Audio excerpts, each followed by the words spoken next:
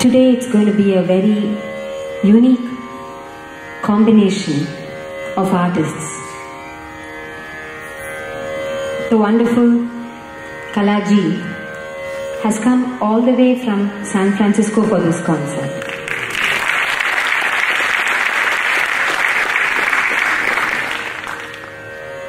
Ojasji has come all the way from Mumbai. But I think we should give the maximum applause to Jai Chandra ji who waded through the Bangalore traffic.